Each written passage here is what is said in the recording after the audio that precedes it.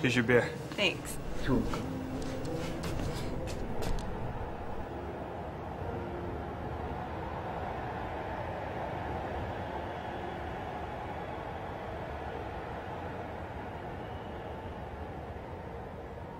She's so pretty.